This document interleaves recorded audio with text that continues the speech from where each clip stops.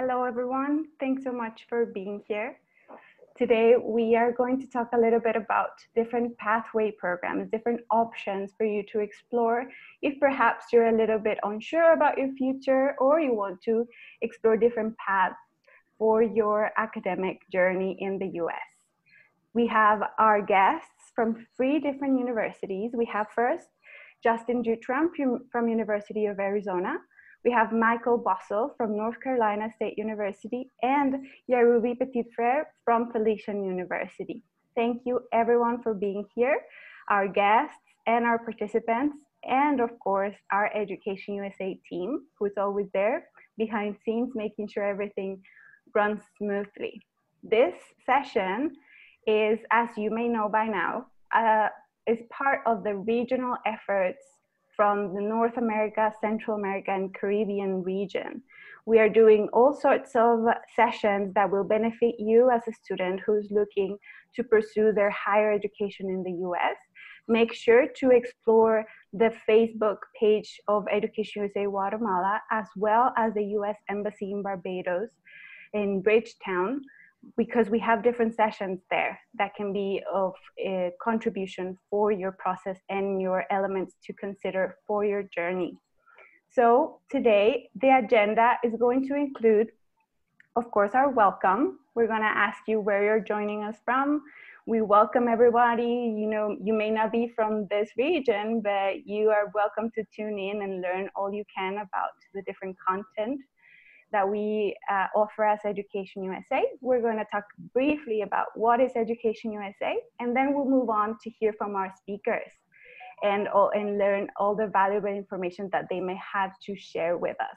Okay, so to begin with, um, I'm going to send a poll for uh, all, all of you joining through Zoom. You'll be able to answer this poll to tell us where you're joining us from and if you are joining us on Facebook, you are welcome to share there where you're joining us from in the comment section. As part of the, of the you know, housekeeping items, remember we are running a live event and we are a couple people trying to make it you know, run smoothly. So make sure that if you're on Zoom, you let us know your questions in the chat box. You can address them to Elvira Castillo. She is a co-host in the Zoom session. And on the Facebook event, you can let us know in the comment section. We also have our colleagues uh, monitoring those questions. We will have a section for Q&A at the end of our webinar. So let's see where people joining us from. Okay, we got Mexico, the Caribbean, and Central America. Welcome, everybody. This is uh, really, really fun, and, and we really appreciate your presence. Okay, so real, real, real briefly also, we will be sharing a survey in the chat box and in the comment section for you to share your contact info with us if you want to hear about other events that we have uh, as Education USA. So make sure that you, you keep track of that. And again, briefly, what is Education USA? We're your official source for higher education uh, in the US.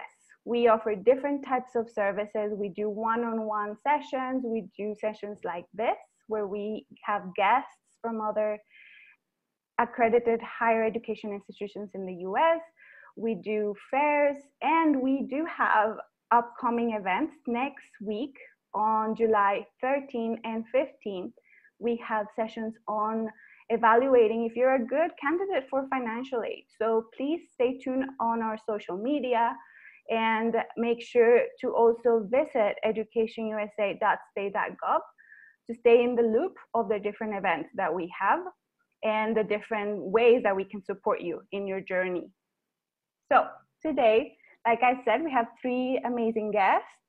And we will begin with Justin Dutram from University of Arizona. You can see there where is Arizona in the US. And he will talk to us a little bit about the Global Campus Program at University of Arizona. So welcome, Justin. Thank you very much, Maria Luisa. Uh, it's, it's, it's an honor and a pleasure to, to be here with everyone. I want to thank our, our friends at the Department of State and Education USA, of course, for the invitation to share a little bit of information today about uh, the Global Campus Program at the University of Arizona with, with our participants who are joining us. And it's great to see folks from Mexico, the Caribbean, and it looked like the vast majority were from Central America. But Central America is a lot of different countries, so it'd be great to know which countries they're, they're joining us from. Mostly Guatemala, maybe El Salvador, maybe even Panama uh, we'll have to maybe follow up with that afterwards to um, to find out where they're they're coming in from. Uh, so I'm going to share my screen with everyone now. Um, hopefully that goes successfully.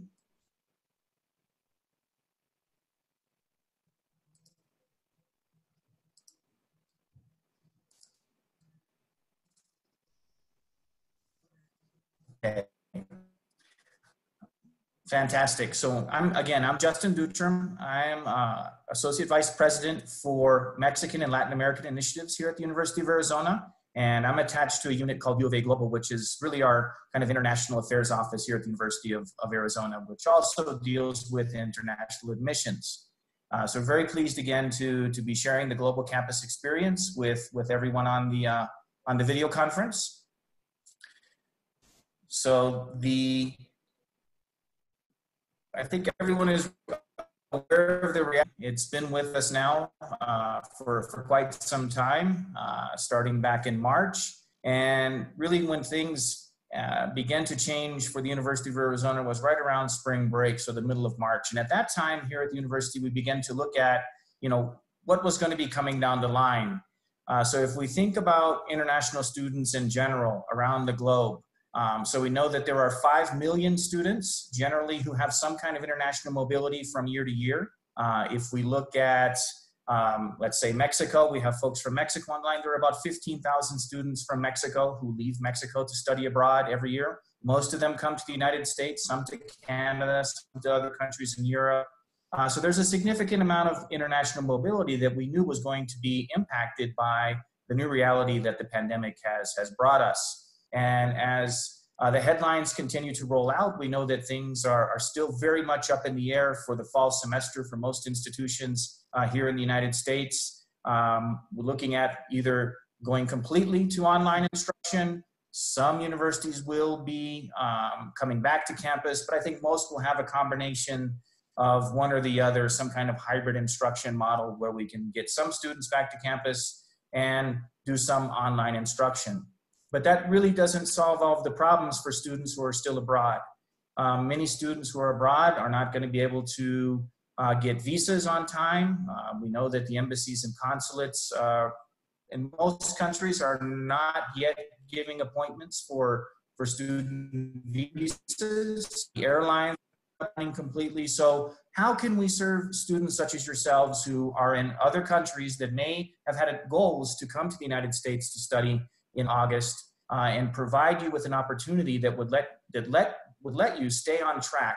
Uh, whether you were planning to come to the University of Arizona, which would be great, or even considering uh, another institution within the U.S. or Canada. So that's really the concept of of global camp, and we began to pull it out at the end of March and have uh, developed a significant number of international partnerships that allow us to serve students in a, in a very unique way uh, which I'll detail as we go forward. So just a little bit about the University of Arizona. Uh, we're one of three public universities in Arizona. Uh, so we have two sister institutions, one in Flagstaff, which is Northern Arizona University, uh, one in Tempe, which is Arizona State University, and then the University of Arizona, our institution, which is in Tucson. Uh, generally, we're ranked within the, the top 1% of uh, higher education institutions uh, throughout the world. Um, top 100 as well uh, from the US News and World Report. In terms of our uh, research enterprise, uh, we're ranked number 20 for public research institutions. So the University of Arizona is considered to be what's called a Research One institution as defined by, uh, by Carnegie.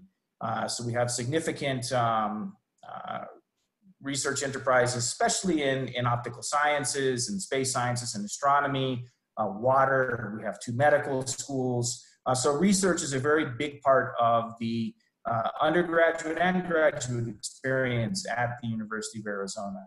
And then also significantly, uh, our online uh, branch, Arizona Online, is ranked number 11 uh, by US News and World Reports. We have a very robust online offering. Uh, so I think the, um, Maria Luisa already shared with everyone where, where Tucson is, uh, but just to give you a, a, a, maybe a more detailed idea, so Arizona is in the southwestern part of the United States, very close to California. Uh, Tucson's in the southern part of the state at uh, an elevation of about 800 meters. Uh, right now, it's very warm in Tucson. Uh, Phoenix is a much larger city than Tucson. That's about 5 million people. And of course, everyone knows Arizona for the Grand Canyon. Just to give you a little bit of geographic uh, reference for, for where we are located. Um, located right in the middle of the Sonoran Desert, which is the most biodiverse region uh, in the US. Uh, so a little bit about Tucson, just so you can know where we're, where we're at. So it's a mid-sized city, a little bit over a million inhabitants. Uh, we're renowned for the diversity of we have in the city, of course, the natural environment of the Sonoran Desert, and then also known for uh, innovation and technology. We have a very large number of enterprises dedicated to, uh, to space and, and, and space exploration and aerospace within uh, Tucson. Of course, mining and mining innovation is a big part of the economy in Arizona as well. Uh, just a few other uh, data points. It's very hot in Tucson right now. We're about 43, 44 degrees Celsius. Uh, that's pretty warm. We have a lot of sunshine throughout the year. Uh, so it's warm in the summer, hot in the summer, I would say. But nine months out of the year, we have beautiful weather in, in Tucson and you can be outside all year round. Um, one great thing to, to take away is that Tucson was the first city in the United States that was designated as a uh, UNESCO Creative City, City of Gastronomy, uh, which speaks a lot about the diversity of cultures that we have and the, uh, the fact that we've been cultivating food in, in Tucson for over 3,000 years, and we've got a great uh, gastronomic tradition being so close to, to Mexico as well. So just a little bit of background on the city and institution itself. Um, so coming back to the idea, how do we serve students right now in dealing with the pandemic, dealing with travel restrictions, dealing also with the economic impacts that we know the pandemic uh, is having worldwide. So there are very few people who will, uh, very few families that will not have been impacted in some way economically by uh, the situation that we're living through. Uh, so the Global Campus Experience tries to address all of those factors. Uh, so what the global campus is, is you have a partnership between the University of Arizona and a local institution.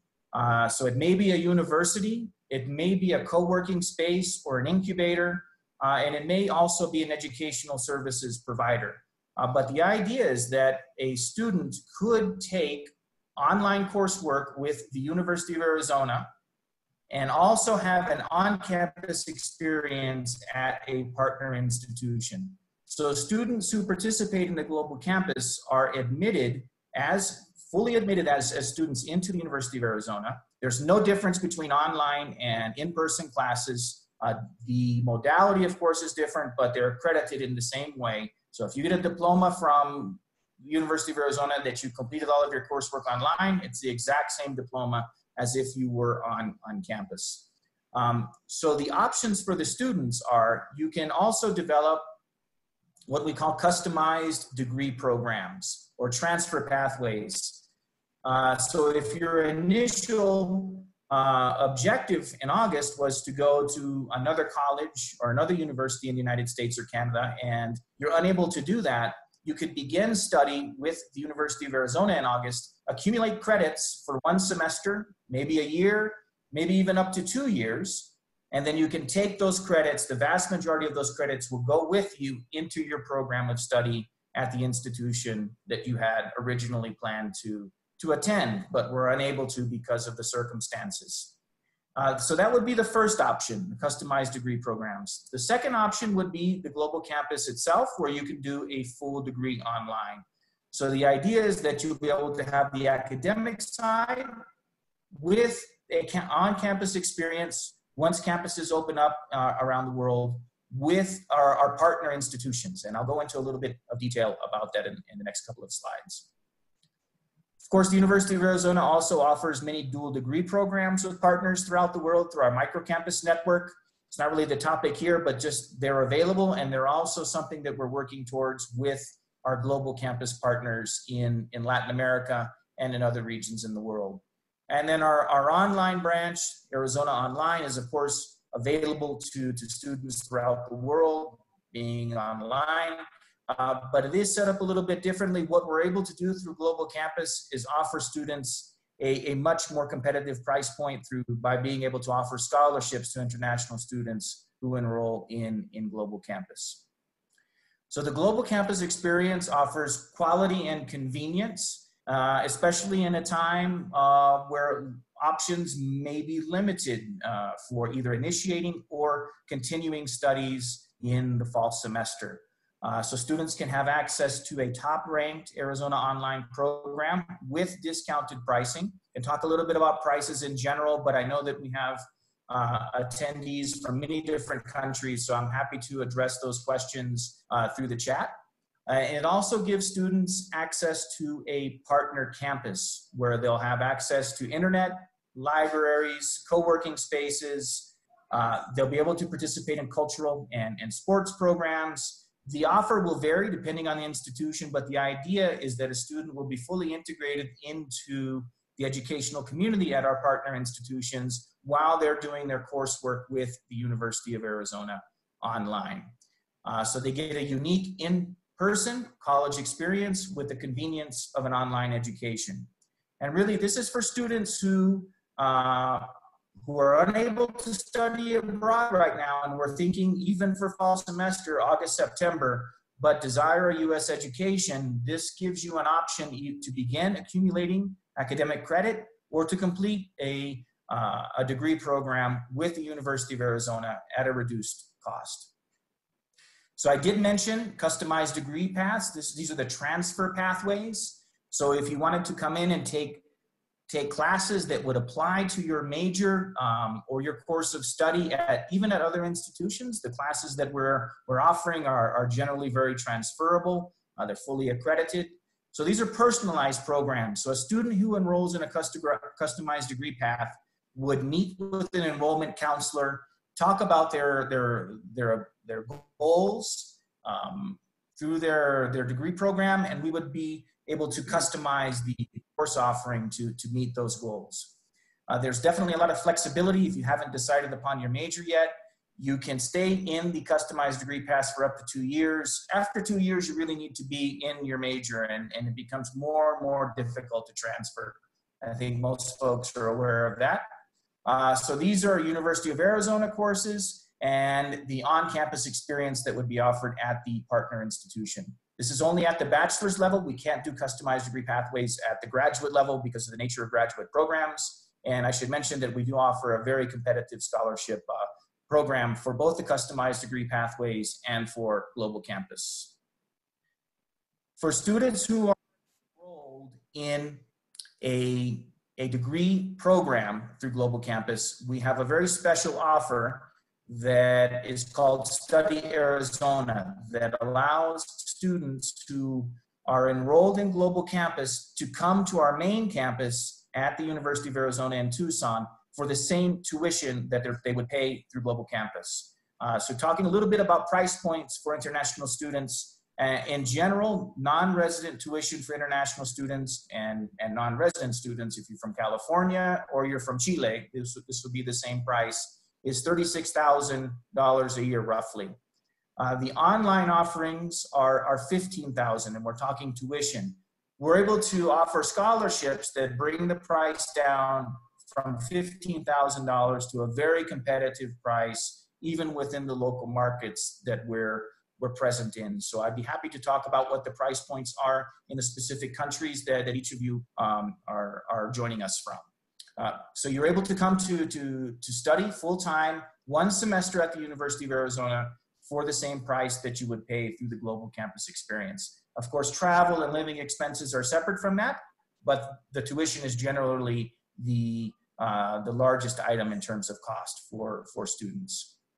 Uh, there's a lot of detail on this slide, but suffice it to say that there are a number of options for undergraduate pathways. I'll direct you to a website where you can see which kind of pathways we can customize programs for.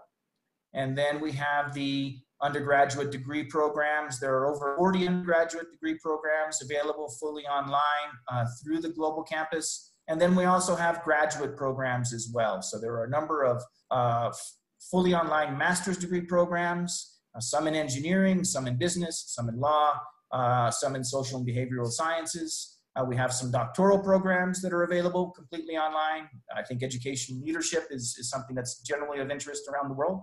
And then we have a number of graduate certificates, which are generally between 12 and 15 credits. And they are really for folks who may already be in the professional, in their professional careers, but are looking for something additional to add to their, their CVs, a new accreditation. Um, they're generally nested within a, a master's degree program as well. Uh, so all of the offering that I showed you is available fully online. And we have a couple of options for admissions. Uh, so I'm, you know, I'm not going to go through all of the details here, but I will point you to a website, uh, everywhere.arizona.edu. And there's a tab there for, for how to apply uh, to these programs. So it's generally the same admissions requirements we have for uh, on-campus students who would traditionally come to, to campus in Tucson. There's not many differences. The one thing I will point out for for the folks who are joining us from from from countries where English is not uh, generally the, the, language of, of daily use. Um, if you attend a bilingual high school or you've done other coursework in English, generally that can um, that can take the place of an English language test, such as TOEFL or um, or or the other tests that, that are required for for admissions. So there's some details here for undergraduate admissions, uh, graduate admissions as well. Um, so again, I'll direct everyone to everywhere.arizona.edu how to apply. And here's the contact information for my colleague, Mr. Humberto Fierro, who uh, is the admissions counselor uh, for Mexico and Latin America and the Caribbean. And he has a WhatsApp account. And of course, you can also uh, contact him through email and through the uh, everywhere.arizona.edu uh, website. Uh, so really quickly, this is where we have global campus partners in Latin America. Uh, so in Argentina, uh, we have two sites in Buenos Aires. In Bolivia, we're partnering with Universidad de Valle, in Valle. In Brazil, we're partnering with the co-working space in Sao Paulo. In Chile, with Universidad Mayor and, and two other partners within Santiago as well. In Central America, we're working very, very closely with ULACIT, uh, which uh, the main campus, of course, is in San Jose, but they also have campuses in Panama and, and certainly attract students from out Central America. So I would love to talk to students if they have questions about uh, the program with ULACIT, but also uh, we're working in Ecuador with, with Universidad de las Américas. And in Mexico, we're working with Tec de Monterrey, uh, so students who uh, maybe anywhere throughout the country, if there's a Tec de Monterrey campus in, in your city, uh, you would be able to have the global campus experience uh, with, with Tec de Monterrey and the University of Arizona. UPAEP in Puebla. We're also working with an incubator, Startup Mexico, uh, which has seven sites throughout Mexico. Of course, the largest one is in Mexico City, and also a study abroad provider in Merida, and finally, where we have a micro campus site in Peru with the Universidad Peruana de Ciencias Aplicadas. So those are the sites that are currently available in, in Latin America. And we expect to, to open additional uh, global campus uh, sites in the fall uh, once we have launched successfully the, the fall semester. So that's a lot of information in a very short amount of time. Uh, so I'm happy to answer questions once we get to the question and answer portion of the, uh, the session. And with that, I'll turn it back uh, to you, Maria Luisa. Thank you very much. Thanks so much, Justin. Um, thanks so much for sharing about University of Arizona. And now we'll hear from Michael Bossel from North Carolina State University which is in Raleigh, North Carolina. Take it away, Michael. Thanks so much.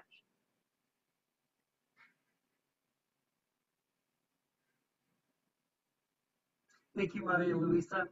Uh, Uh, it's a pleasure to be here uh, and to meet with you all virtually. Uh, I am, uh, I, uh, like Justin, I work in the international department at the university, but I do not work in the admissions office. I'm not a student recruiter.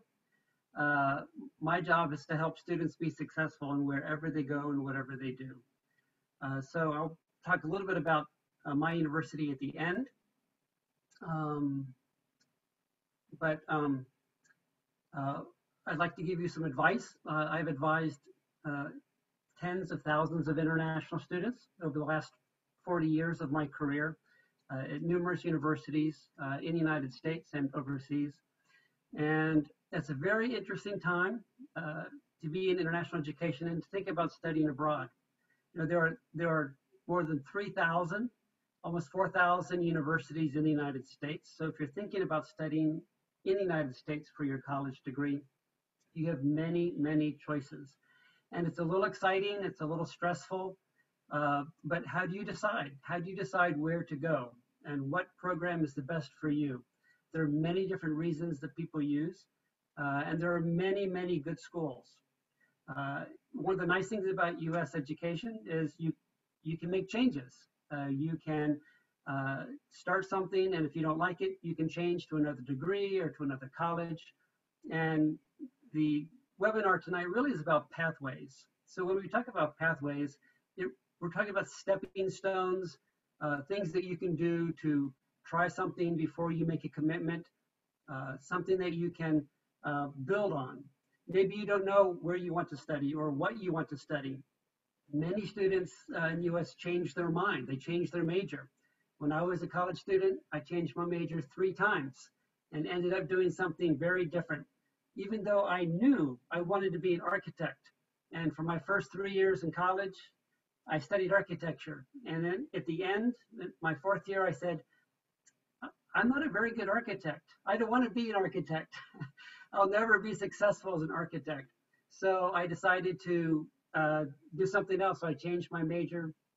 Uh, so there's there's no big mistakes. Uh, if you if you think about your options, you you get a lot of good advice, and you try certain things.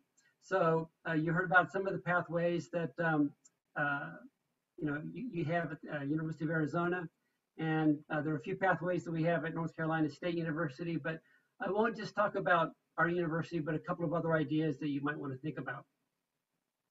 So one thing you might want to think about that you can do now before you even apply to college uh, is engage in some short-term programs. Um, as Justin said, many schools are putting things online. Some of us have been offering online courses for many years, but now everybody's trying to offer online courses.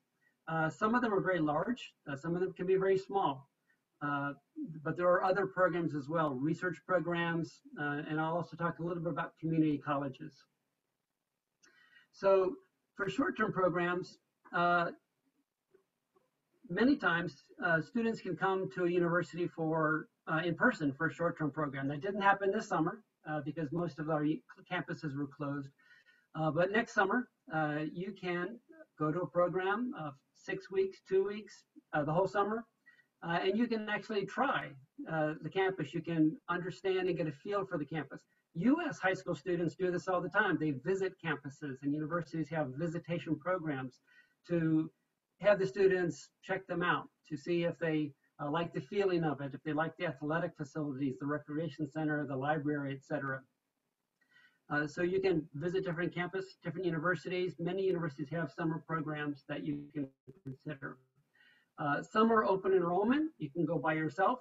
Uh, sometimes schools, high schools or uh, organizations have a, send a group of students, uh, and at my university we, we do both. Uh, we also have virtual online programs now, uh, and you can do um, uh, study a, a, number of different subjects. Uh, of course, e English uh, is a very common program. If you need to work on your English a little bit, you might want to consider doing an English program in the summer to boost your, your English language score.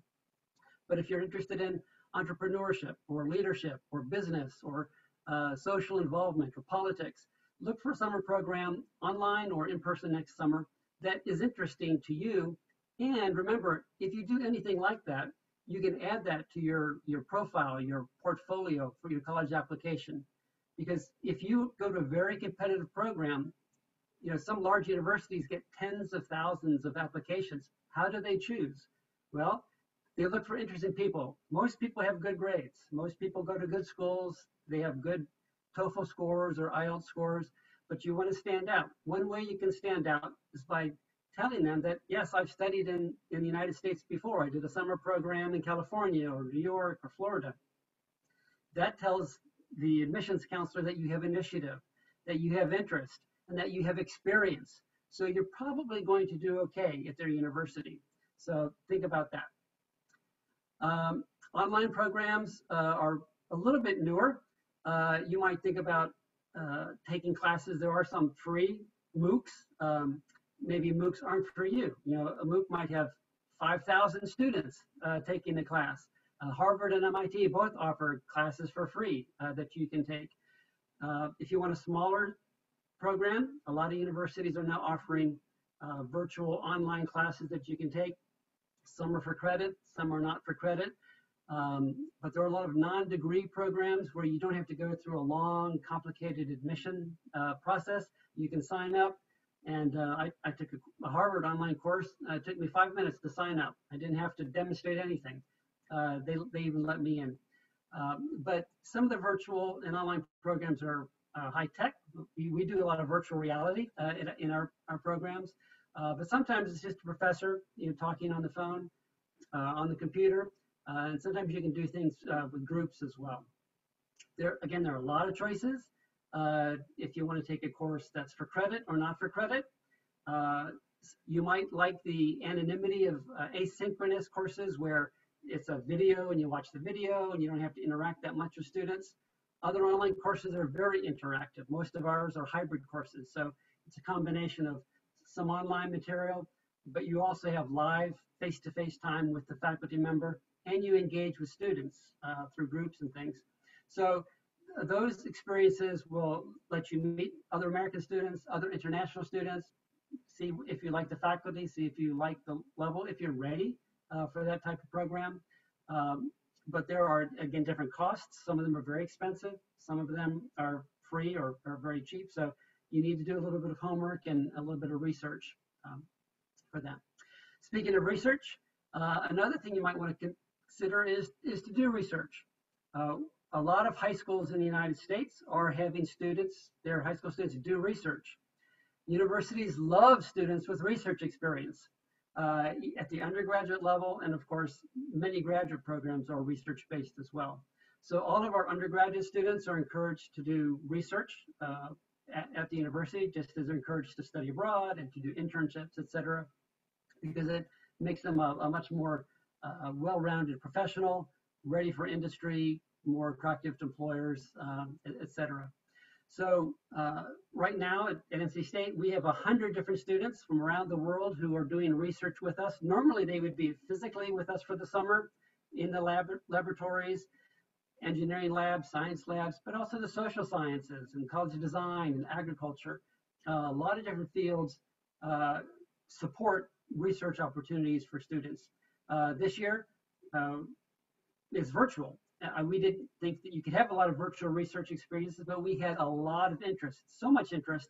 We actually had to work with some of our uh, neighboring universities like Duke University and University of North Carolina, Chapel Hill, which are our neighbors. Uh, so we now have students that are doing research with them as well, which is great because they might have research opportunities that we don't offer at NC State University. So this is another way to to show the admissions office that you're a serious student, uh, you're you're you're different, you have initiative, and um, and then you, you get to taste or try the, the university. So here's a few more uh, uh, options uh, or benefits uh, that come out of research and, and internships. Research is typically in the laboratory, but there are also internships that you can do um, after you are in college or even beforehand. So we have had uh, high school groups come to Raleigh, North Carolina uh, for short-term programs, for uh, English language programs, uh, for leadership programs, cultural programs, and also uh, service learning and, and, research programs as well. Something that you really should consider uh, is community colleges. Now, technical schools are different in different countries, but community colleges are fabulous. We love the 56 community colleges in North Carolina.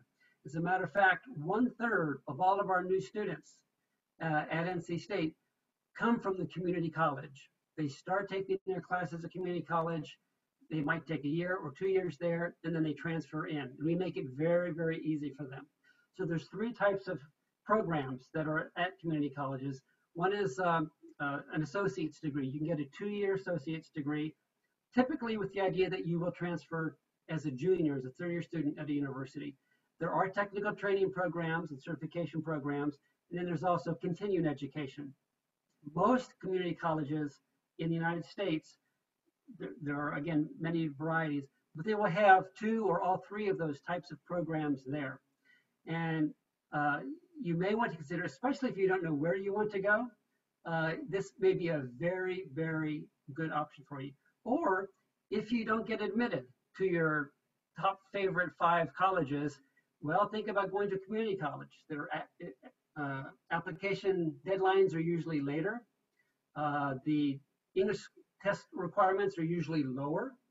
Uh, the GPA requirements are usually a little bit lower, but uh, uh, you get almost the same quality education or sometimes better.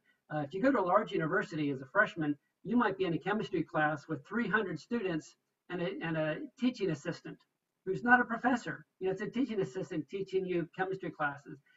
If you go to the community college, you're going to get a professor who's teaching chemistry. But it's a great way to uh, ease into uh, a, a college program. It also is much less expensive. So one of my, I have three kids who went to college. One of them went to a residential college program. One of them went to a community college, and one of them is an online, uh, got an online degree. So even in my family, with my children, they took three different paths uh, to get their college degree. So there's a very large community college in about, I don't know, about 20 kilometers from our campus. They have 80,000 students and, and hundreds of programs but we have they teach the same courses uh, in the college preparatory program that we do. Same textbooks, sometimes it's the same faculty members. Uh, the nice thing is students can go there. It's it's one third to one half the cost. They can try different things, and as long as they finish the program, then they can be admitted into NC State. The nice thing is it's much easier to get admitted as a junior transfer than as a freshman. Uh, the other thing is we have advisors at the community colleges around us that help make sure you are successful. They answer your questions, they advise you which courses to take, and they help help you through the process. Uh, the other thing is it's a two-year trial because the credits will transfer into the university and you still get the NC State degree, but you don't bring your grade points with you. So if you make B's and C's your first two years, uh, you get a you start over. Uh, when you're a, a, junior, you start at NC State in your third year. Uh, you have the credits, and you only need two more years to finish. But you start over with your GPA, which was very helpful for my son because he was what we call a late bloomer. He wasn't that serious of a student. He didn't study very hard. Um, I didn't know if he was going to finish, uh, but he kept at it, and uh, and he he did very well. So as a parent who was paying for the tuition, uh, I was very happy for my son to go to the community college uh, and get a great education. So uh, the last two slides are just about the um, uh, NC State. We do a lot of the, the things that I just mentioned. We're not the only one. Uh, if you have family or friends or you always wanted to study in Boston or California or Florida, that's understandable. But there are a lot of other places that you can consider places that might be uh, the climate is better, pace of life is nicer, might be safer. You know, if you want to live in a study in a big city, well, there are a lot of universities in big cities. We're not a big city. We're less than 1 million people uh, in Raleigh. Um, and it's a, a, beautiful state. I will show you two, two pictures. Uh, the picture on the left is our, our main campus where some uh, seven of our colleges are. Picture on the right is our Centennial campus where our College of Engineering is and the College of Textiles. And the buildings in the background are is our capital city. That's uh, Raleigh, uh, North Carolina. But anyway, uh, I'll stop here and, and pass the mic back to um, uh, our friends at Education USA, and I'll be happy to answer any questions. If you do have questions, um, my email is there. You can email me directly and I can direct you to the admissions office or some other place. But good luck, best wishes in your search, and get lots of good advice. Uh, ask your friends, your family, Education USA advisors. Um, you know, most of us the universities, we want you to apply to the right program. You know, NC State is not for everybody. Uh, it is the best place for some people. Uh, so if you're one of those people, we would love for you to apply. Uh, if you belong somewhere else, then we wish you all the best. So thank you very much. Thanks so much, Michael. Thanks so much for the valuable information um, that you shared with us uh, from NC State University.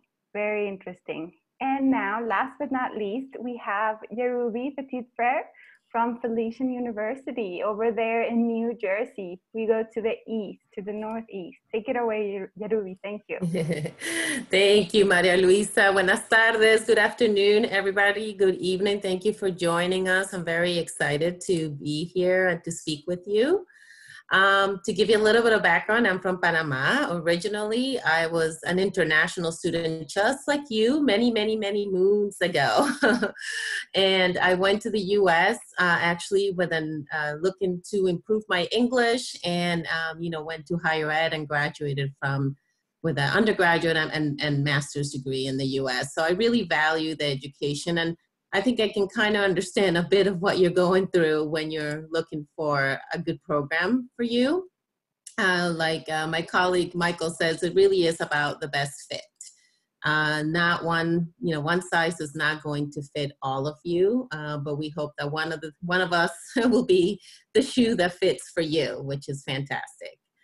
Um, I want to talk to you first a little bit of just overall in general what you know what are pathway programs and my colleagues have given really great examples from the universities uh, which is uh, great uh, some really concrete examples but I'll talk a little bit more in general in general terms and then get into some examples that we have at Felician as well and give you more details as well um, so I'll just get started.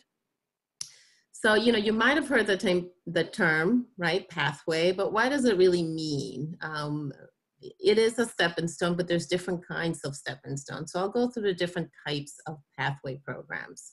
For the most part, pathway programs, it is, you know, they're supposed to be a step, a short-term kind of um, uh, experience where you can learn a little bit more about what you're getting into before you actually get into your program.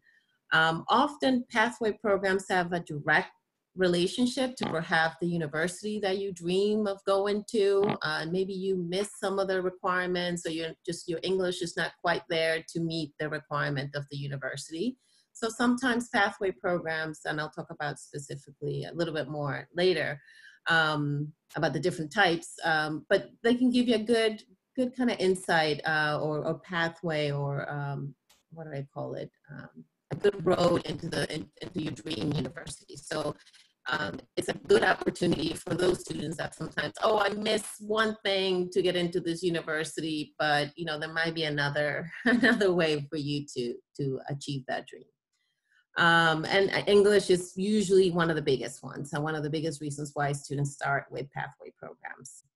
It, uh, pathway programs are also great if you maybe meet all the requirements, but you want to strengthen that English you get you want to get to learn a little bit more about American culture before getting into your degree program. Um, so again, it's it's a good way to kind of test the waters before you get really serious about your education uh, or, or, into your degree program.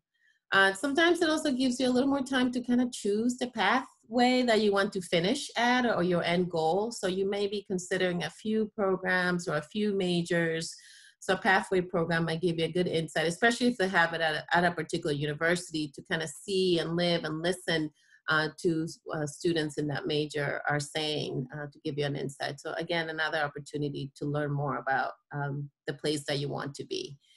Um, often pathway programs, like I mentioned, are directly uh, on the university or institutions or college campuses, um, but not always. Um, uh, like uh, my colleague Michael talked a little bit earlier, a lot of different types of um, institutions offer English camps where uh, you know you can you can just have a fun way to learn the language and more usually more um, uh, speaking, you know, to practice more of the speaking side. It's not you know, usually not a, a very rigorous ac academic.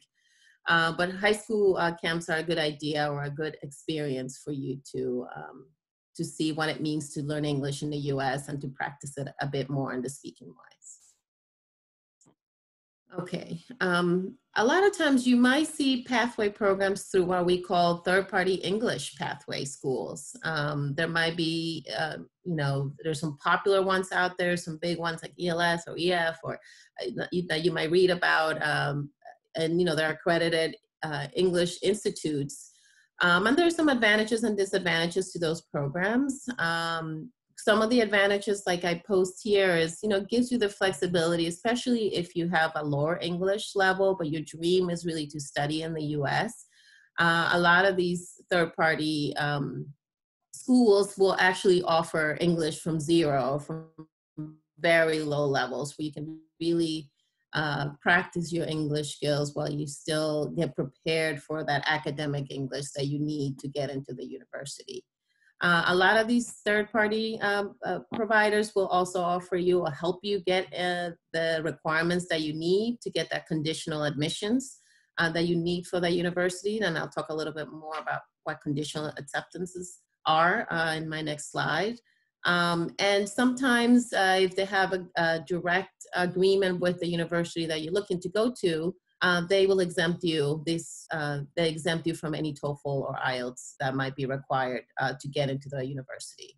Sometimes, not always, but many times uh, once you finish, let's say one of these ESL programs, it guarantees that you meet the English requirements that are necessary to get into the university that you're looking to go or college. Um, some of the disadvantages, like yes, it can be a little more pricey uh, in their costs than maybe a program that a university or community college might offer you. Um, they do charge usually for these kind of counseling services to help you get into the university or school that you want to go to. Um, and yes, uh, at the end, you're not going to uh, receive a, a, visa or I-20 from the university that you're looking for. Uh, but, um, you know, again, it, it's easily transferable uh, once you get through their program. Okay, what is conditional admissions? Uh, and really the definition, um, it just gives you the ability to get into that degree program. So whether it's undergraduate or graduate or even doctorate, um, but maybe you missed uh, your, or you're kind of a little bit short in one of the admissions requirements that the university or institution is looking for. So having a conditional admissions, it's uh, allowing you to, yes, get uh, kind of pre-approval for you to be part of this program, uh, pending that you, that you fulfill certain requirements. Um, usually, again, they tend to often, or especially for international students, our language. So you need, maybe you missed the test score or the TOEFL score by a few points and you're close enough. So they allow you to uh, still be admitted into the degree pending that you, you know, uh, strengthen your English before you enter the program or while you're in the program. Um, sometimes there are academic conditions, and I'll talk a little bit more about that next, uh, what those mean if you're, you know, admitted into a university pending an academic requirement. Um, and, um, you know, acceptance is, you, the, the nice thing is in the end is that you are admitted. you have met most of the requirements, at least academic requirements, um, uh, to you know get into the program that you are interested in pursuing uh, but it just means that you have to complete one more step before you are uh, officially into the program fully. Um, one, um, sometimes you hear um, universities or institutions offer bridge programs. Um, that's kind of another another term for conditional admissions to be honest. Um, and often um, they tend to mean mostly because you're missing an academic requirement. So sometimes, for example, and, and nursing, it's, it's, it's a uh, kind of a good example for Felician. Uh, we often, you know, find brilliant students that have really good GPAs, but the nursing department is looking that you that you have that chemistry class, and maybe your high school didn't offer it, but your SATs are very good, and your, um, you know, your GPA is good for you to get in. So we're going to allow you to come into the nursing program, pending that you do a chemistry class within your first semester. So that's that's a that's that's what we would call kind of a bridging you into the program. Um, and once you submit or once you finish uh, that re- the prerequisite, then you can get into officially into the nursing program. Um, sometimes, you know, universities, uh, a lot of universities uh, do what's called a um, a review of your background that's holistic. Um, and that means that although you may have a lower GPA or poor academic record um, means you can still be admitted into the university, but with a condition or with a bridge program. Um, so sometimes that's when that is offered. Um, and you see this, I won't go into the next one too much because it tends to happen more in the British or Indian system. If uh, if you're looking for a postgraduate program, um, but you only you know completed a three-year bachelor's, um, a lot of this will give you again a bridge program where you can take some credits to meet the requirements to get into the master's degree. Because in the US, you need to have uh, four, four years worth of credits um, to get into most master degree programs. Um, so here are some examples of what I mentioned. Uh, you might see uh, other kind of academic bridge programs such as four plus ones where you get the opportunity to do a bachelor's degree plus in one year also complete an MBA. Um, they don't usually use that term, but that is really what they are. It's a it's a bridge program for you to do a master's degree uh, combined with an undergraduate degree, and it's a bridge because during your senior year of your undergraduate degree, you start taking classes in your master's degree, so then you can complete the program um, faster. Um, you also see this from university to university, three plus two programs or two plus two programs, or like Michael mentioned, the community college into university programs. These are all types of academic bridge programs, allowing you to complete part of the program at one university with guaranteed uh, admissions into the next part of your program at another university, as long as you meet, you know, a certain GPA or all the academic requirements. So I think it's, it's just giving you a good idea of what these terms mean um, because they might be sometimes used interchangeably um, and often kind of overlap in their descriptions. Now to tell you a little bit about Felician, I'll give some examples of, of some of the um, some of the pathways that I've been describing. Um, Felician is a, is a small university. Uh, we have 2,400 students. Uh, it's a liberal arts university. Like um, mentioned, we are in New Jersey, uh, right in Rutherford, New Jersey, uh, and often students describe us as really the uh, the best of both worlds um, because we're. If you look our website and see some of the videos, we're your typical traditional kind of American um, neighborhood. You see lots of very residential campus, very safe. We were voted safest in all of New Jersey, safest campus. Uh, but it's the best of both worlds because we're only 16 kilometers from Manhattan, from New York, and we have a train station just a few uh, minutes from walking from campus. Uh, so whenever you want to kind of experience the, uh, everything that New York City has to offer is right at your footsteps. Um, but also when uh, you know it gives you a lot of opportunities for work uh, internships, but you still have a quiet kind of fun place, good community to learn. Um, and we offer a lot of these kind of programs where you can do a five-year um, program, a five-year MBA um, with your undergraduate program, or a master in computer science, um, you know, combined with your undergraduate in five years, or a master in, in counseling psychology in six years. Uh, we're um, we have more than 60 majors, over 60 majors in many different um, uh, disciplines, uh, over four schools. But Felician was founded as a nursing school. Uh, we are a Catholic institution uh, by the Felician Sisters. Um, it's not a religious school by any means, but that means that um, our students are really taught from day one and for every single uh, every class that they take that they have to be good citizens uh, they're required to do community service and help others and you really feel that throughout the, the, the classes that you take. Um, I'll move on a little bit from here. Another just quick highlight is that, yeah, because our students, we have a very, very high placement rate, which means that students have uh, jobs or they go on to grad school within six months uh, of their graduation. So we really focus on not only the education, but given the opportunity of internships and uh, I'd say outside activities. uh, we have a, a very fan, a fantastic UN program as well. We're one of only one, one of 34 universities that is part of the United Nations. So students get the opportunity to intern and, and learn uh, how to use their major in, in a global uh, perspective. Well, let's talk a little bit more about these pathway programs. So we have a full ESL Academy at Felician. It runs all year round, small classes. Um, but this is one way where students who don't have the English requirement, maybe you just are not a good test taker. I wasn't. uh, you can start uh, at Felician. You can be admitted into a degree program without any TOEFL or IELTS.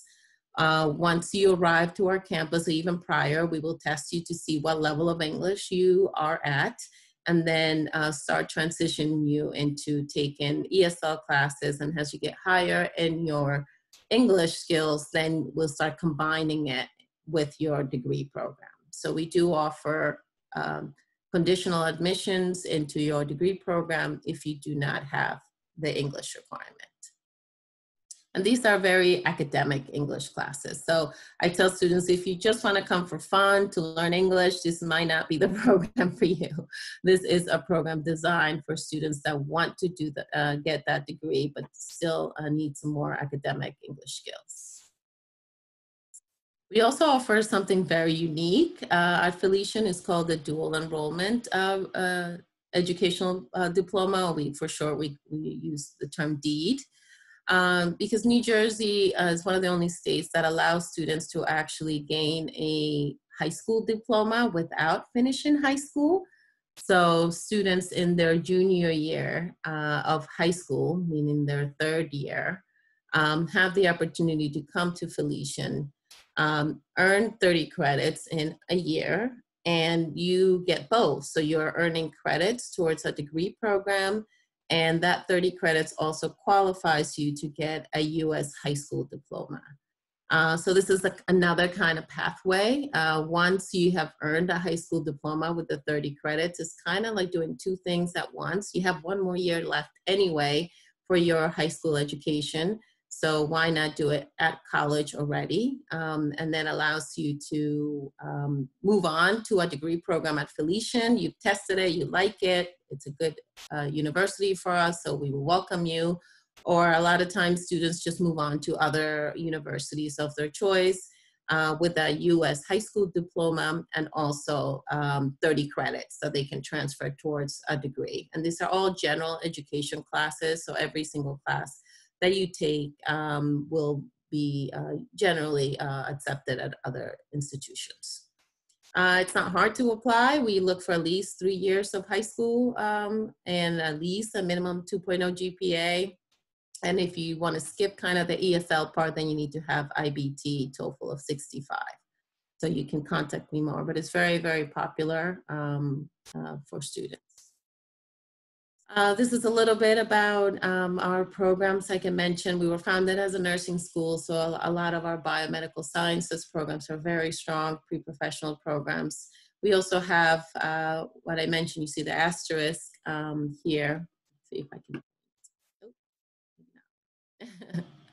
well, the ones with the asterisk, we have a direct pathway into Rutgers University, which is uh, one of the top top state university in New Jersey, uh, where you can do three years with us and then two years with them and graduate with a um, a master's degree uh, in like clinical lab or um, um, medical imaging. There's there's a lot of pathway programs that we have with them, and we have a pre med and pre vet programs as well with St. George's University, a pathway with them uh, in the Caribbean. So uh, again this isn't uncommon. This isn't Felician specific. I'm just giving you examples of what pathways look like. Many universities offer similar um, uh, kind of pathway or transfer agreements with other institutions.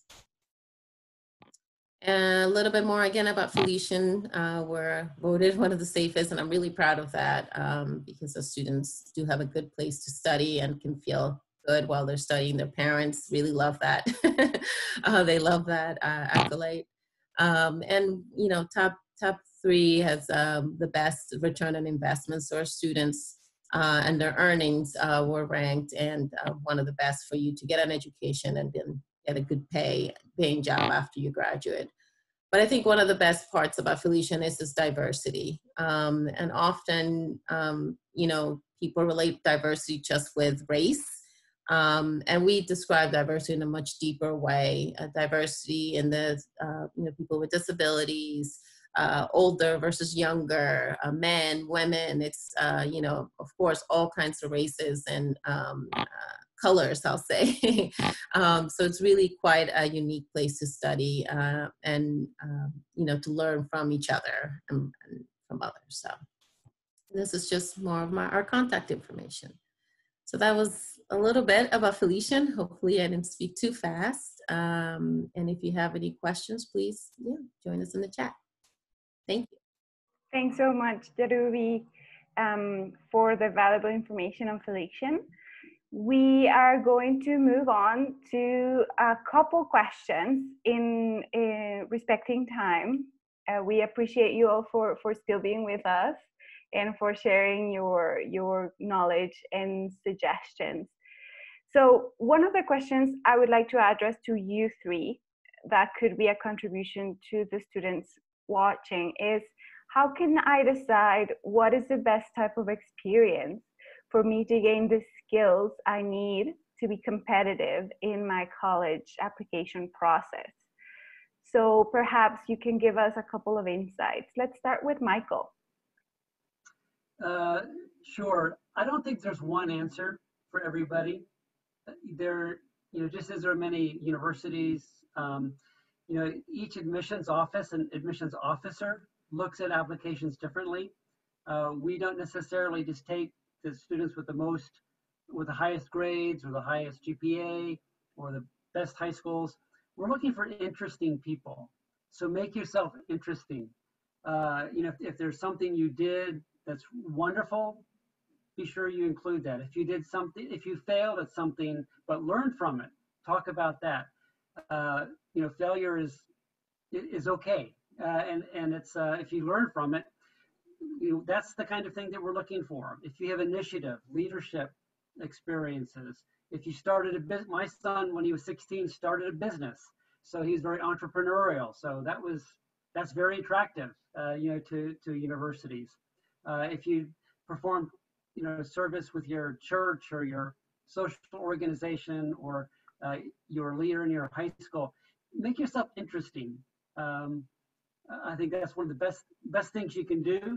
So any experience that you can do locally or in the U.S. or somewhere else, uh, that makes you, I think, very attractive to an admissions officer.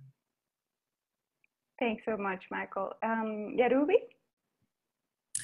Yeah, that's, uh, I'll echo kind of what Michael said. Uh, what I tell students, and I, I you know kind of we get this question i guess a lot what can i do to make my application stronger? It's it's really we want to see your passion. We want to see what you're interested in what makes you you. Um you know no two people are alike. So tell me what you're what you're all about. What are you passionate about? There's no wrong answer. If gaming is your thing and you spend 12 hours a day gaming and you find that of value, you know, it doesn't matter. There's no wrong answer. We want to feel that. We want to feel that beat, what makes you excited about who you are and who you want to be, perhaps. So, um, there, again, there isn't a wrong answer. It's not people say, well, I do this and this and this and I have 12 different activities. Okay, what are you passionate about? Which one of them really makes you get up every morning or you excites you the most? That's the one that you should be putting the time in and there, there really isn't a wrong answer. So as long as we could see that passion that interest what makes you unique you have a very good chance of getting where, going wherever you want to go. Awesome. And justin what do you think? I think my colleagues did a great job answering the question. Uh, i think i would add maybe you know you're just looking for someone who's had life experience. You know, so whether it's an after-school job, whether it's uh, participating in athletics or other uh, co-curricular activities, um, or having some other um, thing that that interests you that that, that that you've developed a, a hobby that's um, you know to a very high level. Um, so again, coming back to what Michael said, you make yourself interesting, but you do that by having had life experiences beyond just what your transcript or your test scores will show. So what admissions officers are looking for, they're looking for that whole list. they're gonna review the application holistically and make sure that this is a well-rounded person that's had some success. Um, they may have had some failures as well, but they've tried different things and are out experiencing life. Um, so I think that's the, the best way to go about it. I agree with you three. um, Michael, these two questions are probably addressed to you. One is if you could repeat the three paths that your children took for higher education. And the second is if you can elaborate on the virtual research opportunities.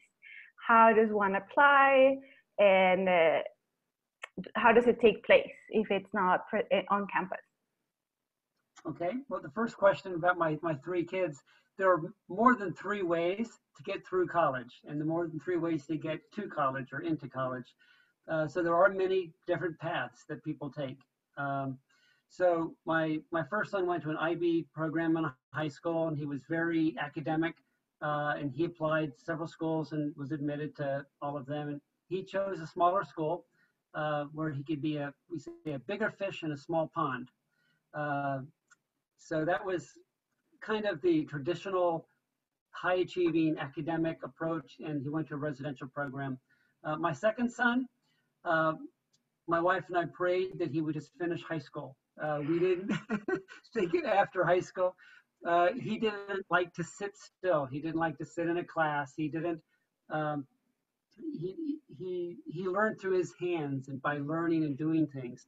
So I knew that he was not going to go to the university, uh, and he tried to go to it when he did graduate, but he did internships throughout his high school program. He's the one who started a business uh, and started making a lot of money while he was still a high school student. And I was afraid, oh no, he won't go to go to college at all.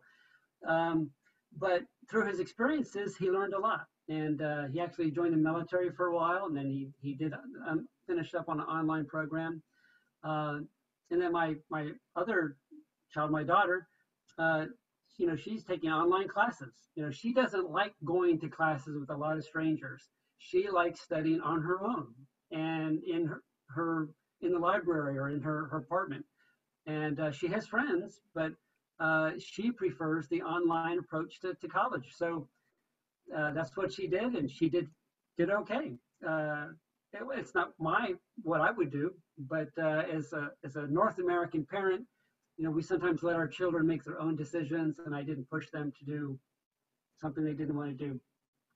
Uh, the second um, question was about the, the research and virtual programs. It is difficult for high school students in other countries to do research.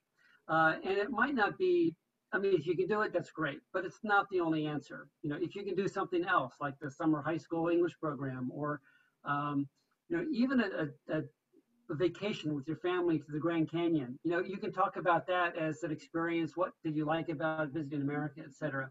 But if you can do something that's a little more academic, that shows that you have the capacity and the passion and the experience, and you're you're going to be successful, that's what we're looking for. So if you can do do, for example, we have a program with uh, some Chinese high schools with that meet with our high schools, and we do some programs online. Uh, there are some virtual programs where um, students will do uh, uh biotechnology uh, experiments together across uh, cultures virtually. Um, we're working with a high school in Taiwan right now uh, that they want their students to be really competitive for a U.S. college. So we're talking to them, and we'll we'll be providing some some leadership workshops and webinars, and they'll get a certificate. So it doesn't take a lot of time, a lot of effort, but it shows that they did something uh, with the, a U.S. university. So um, I mean, admissions officers are very smart you know, they they uh, they, they know the value of the different types of experiences that you might have. Uh, so as, as Yarubi said, you know, you know, be, be passionate about it and, and be honest, be very, be very interesting. Um, but, and, and there's no one place you can go to see all of the options. You, have to do your homework. Uh, go to the Education USA office, talk to your Education USA advisor. They have a lot of information. They will not tell you to go to this school or to go to that school. But if you tell them what you're interested in, they have resources. Uh, but you will have to do your homework. You'll have to, you know, get on Google and and uh, try different things and start start googling, and you'll be surprised at how many uh, different opportunities show up. And then talk to your parents. You know, talk to your your friends and your teachers in high school. They're also very good advisors, they might have some connections. Um, if you have a relative in the United States, you know, talk to your relatives. Maybe you can spend the summer with them and they can get you to take some classes uh, at the high school or online programs in the United States or at a community college, some of which will allow high school students to take classes. So that'd be a, an, another thing that you might want to think about. Whatever your resources are. Thank you, Michael. And this next question is for Justin. So does the University of Arizona plan to establish a, a global campus on another country? That's that's a great question. So yeah, we're definitely in plenty of conversations in in other countries. Uh, as we're getting closer to uh, the start date for classes in August, it's it's unlikely that there'll be other sites available for uh, at least the first trimester in August, but potentially by October and certainly by January, we'll have some additional sites uh, available, certainly in, in Mexico as well as in Central America and, and the Caribbean. So the answer is yes, uh, but nothing specific at this time that we could that we could talk about. Okay, cool. And these next two, uh, maybe Yarubi can can help us out. They are regarding the bridge programs and the dual high school degree program. So how do I enroll in a bridge program? Um, and it, does it have extra costs? And the next question is, do I stay at home to complete the dual high school degree program? Okay, so the bridge programs, um, again, it's an opportunity for you to come if you are missing maybe one of the admissions requirements. Um, they often are used interchangeable with conditional admission. So we offer a bridge program, meaning that we will offer you a conditional acceptance letter as long as you meet or do these requirements. Um, usually you have to come though to, to do the requirements at the at the university uh, while you transition into into your kind of degree program. So I don't know of many bridge program. Maybe my colleagues can help where you can actually start where you're doing. You know, may, maybe maybe if, if, if there's a specific GPA requirement that you're missing, maybe you can do something at your local. But most bridge programs allow you to come start, do the prerequisites that you are missing before you transition into your degree program. And does it have an extra cost? No, no, usually it's part of the tuition cost. Uh, the only thing though, um, sometimes until you're actually, you meet those requirements, you're not eligible for maybe that scholarship you qualify for. So um, you may, it might actually be a little bit more if you have to submit that uh, or do those requirements before you get into your degree program because the scholarship might not be uh, offered yet until you're into that degree program. But it varies from school to school. Um, for us, for example, like most of our bridge programs are English related. Um, so you'd have to complete the English level before you get into um, your degree program. Um, so it is a different cost, but it is a lower cost for English, English courses. Um, Okay. As the dual degree program, it is, we do have uh, high school students at our university. Uh, you, um, the minimum age requirement, I forgot to mention that, is that you do have to be at least 17 to be um, uh, admitted into the program and to be part of the program. We've gotten some 16 year olds that are turning 17 within a few months of the start of the program, but for the most part, you have to be 17. Um, and I know it's a lot for parents, but it's worked very well for those students, you know, who are mature, um, who know that they want to uh, get into a specific university, or maybe, you know, the high school just wasn't for them anymore. They're ready to really transition into college and earn credits. Um, so we have most students that we have in that program are from China, but we have some from Taiwan and also from Spain. So it's growing, um, but it does give you the opportunity to kind of end your high school year by the time you're 17 or you finish at least three years of, of, of your high school and then start your program at the university. Mm-hmm. Thank you, Yarubi. Um, and these, these next questions are open to whomever wants to take them. so um, first one is, how will a hybrid course be listed on my transcript? Online or in person or how how may that work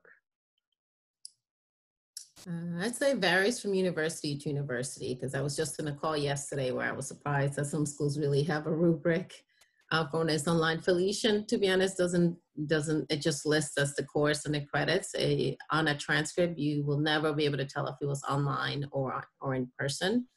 But I don't know if any of my other colleagues, some universities will you know, have a, a key code in the back with the special code for the class that identifies which ones were web classes or online. Yeah.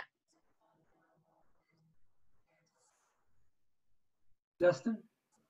No, I, as, as, as far as I know, the University of Arizona does not make a distinction between online and face-to-face classes. They're, they're the same academic credit, uh, same, they're accredited by the same accrediting bodies, you know, for the academic departments. Uh, they're they're the same. The only thing that's different is the modality. Cool. We and when students register, there is a a, a classification uh, the course code numbering system. Uh, it's uh, students and faculty know if it's an online course or if it's an in-person course. There are a few programs that we have. We don't have any undergraduate online programs. We have online courses, uh, but no full bachelor's degree online. And that's intentional on our part. We do have graduate programs that are completely online uh, or completely in person or a combination of online and in person. Um, but most of our undergraduate students, uh, we have about about 27,000 undergraduate students. Uh, almost all of them take some of their courses as online uh, distance education uh, options. So most students will take uh, some of their courses uh, in person or online, and some courses are hybrid courses that have online requirements and occasional in-person face-to-face meetings. So again, there's so many options uh, uh, between universities, and even within each university, there's often different different types of um, uh, programs or options to take online courses or hybrid courses or face-to-face -face courses. Awesome, thank you. And uh, do you all know if there are any search tools or search engines to find these kinds of programs, similar to those that one can use to find undergraduate or graduate degrees?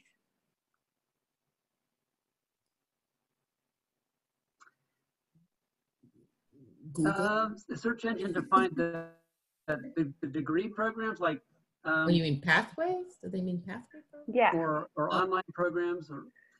Yeah, like uh, pathway programs, like the programs we talked about today. I'm not aware of a, uh, a neutral, unbiased, comprehensive online resource that, that, that helps you do that. There are some um, providers, you know, that will list some programs that they sponsor or they get money from, but they're not really comprehensive or unbiased. Um, I think the most unbiased source of information like that will be your Education USA advisors, but they don't have all the information either. You know, nobody has all the information. So that's why I said you really have to do some research and um, uh, use the internet.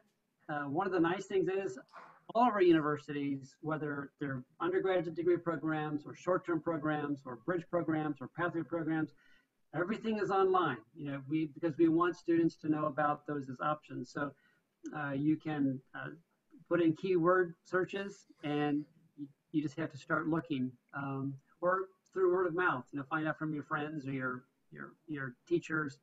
Uh, what good programs might be. And keep going to webinars like this that Education USA hosts, because if you if you attend five webinars, you're going to hear from 15 different schools, and one or two of them I think will interest you.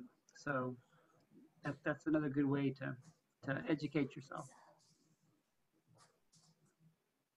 Yeah, I would Absolutely. just say really quick is really uh, go for the you know the program research the degree program if that's where you want to start you know where you want to go where do you want to end up you want to go start researching the the degree program of the school and then you know if you're missing some requirements don't give up. Ask them if they offer a pathway program. Ask are there any other ways for me to get admitted if i didn't get in? Or you know what other programs do you offer that offer an alternative alternative way? And that's really we don't often like advertise it uh, because it's not one thing on its own. It's part of kind of you know a stepping stone for you to get into a degree program. So perhaps not googling pathway but just start looking at the program that you want to get into or the, the degree program of the university and then see if they offer it through that you know different stepping stones to get into it One, one of the pathways that we do offer at NC State is a, a one semester certificate program.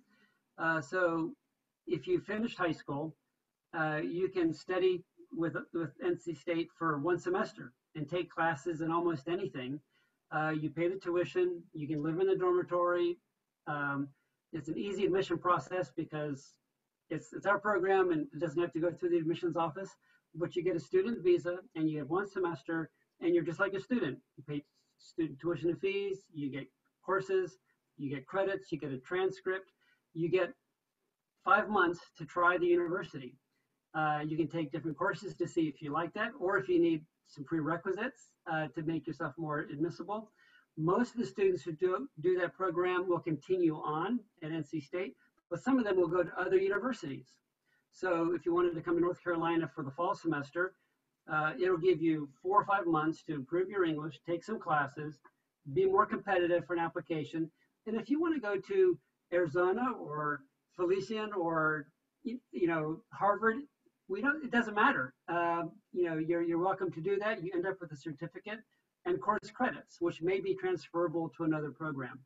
That will be up to the other university to decide. But uh, we have students who graduate from college overseas and they'll do that before a graduate program. And we also have some high school students who graduate and will do this program with us as well. So it's, it's, it's not a long-term commitment, um, but it gives you some time and some experience and some uh, educational opportunities to think about what you do want to do. Um, and you might decide you love North Carolina and want to stay here, or it's too hot in North Carolina, you want to go up to Minnesota. Um, uh, or take some classes at other universities. So there, there are so many different programs. But Justin, did you want to add something to that? I, I, I think that most of the options have, have been addressed by, by Yerubian and, and, and Michael. You know, University of Arizona offers similar options. The other thing I would add, though, that that uh, our the folks who are in attendance might want to think about is, you know, while they're still in high school, if they are doing uh, the IB program, which was mentioned, so the International Baccalaureate, and they have the option of advanced placement uh, exams uh, where they can accumulate uh, academic credit uh, for those as well as, and that will be part of the admissions process. So you know, there's there's so many ways out there to uh, to to work towards a degree program, to be admitted early into a degree program. Uh, the University of Arizona has a, a program that we're it's, it's really an academy, but it's really an early university program where we're partnering around the world to those students while they're still in high school enroll in University of Arizona classes uh, to get university credit. Um, so there's certain partner high schools we're working with in different countries to do that. We hope to expand the program.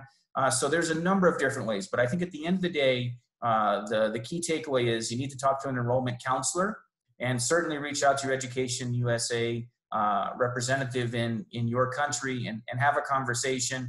Do your research, reach out to enrollment counselors at the institutions that you're, you're interested in. They will take the time to share those options with you. That's that's really what they're they're there for. They want to make sure that you choose the right path that's going to work for you, that that makes the most of your experiences and puts you in the best position as you go in as you enter into college or, or university. Uh, there's just so many options out there. Really, you have to do the research and narrow them down. And the best way to do that is with is by talking with someone. Yes, that that idea of the best fit is so valuable and so important for you to consider from the start of your search and your journey to look for higher education in the US. And that's why Education USA is here to help you out. Michael, Justin, Yarubi, thank you so much for being with us. This was very, very informative and valuable information that you shared. Thank you for your time uh, for all of you who participated. Remember, there are more events coming next week, Monday and Wednesday, the 13th and the 15th. We have events for undergraduate and graduate students to consider and evaluate if you're a good candidate for financial aid or not. So don't forget to follow us and find us on social media. Reach out to your Education USA Advising Center you can go to educationusa.state.gov and search for your center. And my name is Maria Luisa. I'm at Education USA Guatemala. Thank you so much for being here, and we hope to see you soon. Thank you so much, everybody. Have a good afternoon or night. Bye bye. Good luck, Thank you. everybody. Much. Have fun. Thank you.